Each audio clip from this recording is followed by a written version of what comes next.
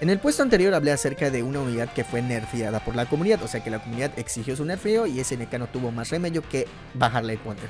Pero antes de esa unidad habían dos unidades que eran extremadamente castrantes y que la comunidad no le quedó de otra que nerfearlas. Y esas unidades son la momia y el perro momia. Y pues esto es realmente interesante y un dato bastante curioso ya que estas dos unidades se ven tan insignificantes, pero fueron un total caos en su tiempo de salida. O sea que hicieron tanto desmadre estas unidades que toda la comunidad se unió para exigirle a SNK sus cabezas y pues SNK no tuvo remedio que agarrar y nerfearlas. Así que ahí se los dejo, creo que estas unidades fueron las primeras que causaron tanto desmadre. Creo que sí hubieron nerfeos con anterioridad, pero no tan pedidos como lo fueron las momias en su tiempo. Así que ahí les dejo el dato como algo bastante, bastante curioso.